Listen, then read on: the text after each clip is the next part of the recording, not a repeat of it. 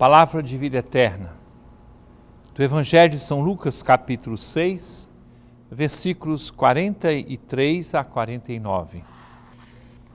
Naquele tempo, disse Jesus aos seus discípulos: Não existe árvore boa que dê frutos ruins, nem árvore ruim que dê frutos bons. Toda árvore é reconhecida pelos seus frutos. Não se colhem figos de espinheiros, nem uvas de plantas espinhosas. O homem bom tira coisas boas do bom tesouro do seu coração, mas o mal tira coisas más do seu mau tesouro, pois sua boca fala do que o coração está cheio. Por que me chamais Senhor, Senhor, mas não fazeis o que eu vos digo? Vou mostrar-vos com quem se parece todo aquele que vem a mim, ouve as minhas palavras e as põe em prática. É semelhante a um homem que construiu uma casa, cavou fundo e colocou alicerces sobre a rocha. Veio a enchente, a torrente deu contra a casa, mas não conseguiu derrubá-la, porque estava bem construída. Aquele, porém, que ouve e não põe em prática é semelhante a um homem que construiu uma casa no chão sem alicerce.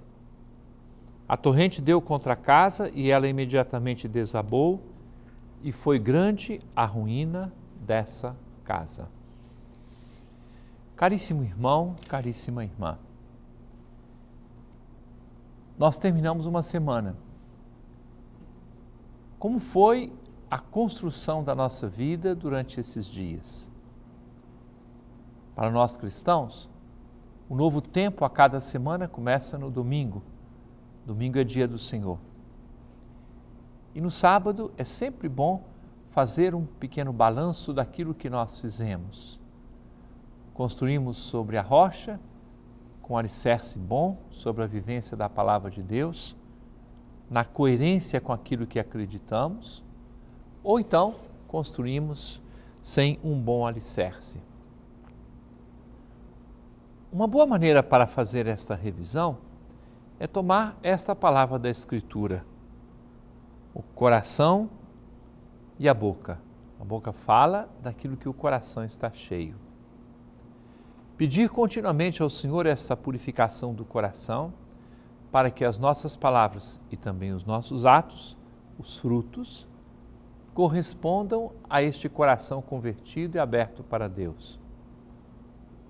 Se alguém me disser, mas eu sou frágil, eu sou limitado, tenho minhas dificuldades, tenho meus pecados, pois bem, o Senhor continuamente está aberto com a sua misericórdia, porque Ele sabe que nós não acertaremos sempre de uma forma absoluta.